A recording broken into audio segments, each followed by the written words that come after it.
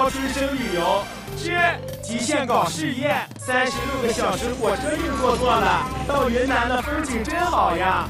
老战友见了，天也聊了，夜市逛了，云南美食吃了，上等的普洱茶喝了，终于开始聊事业了。谁懂啊，家人们？整整聊了两天，回北京了，朋友的朋友见了，朋友的朋友的朋友也见了，赚了赚了赚钱了，真不容易啊！filho.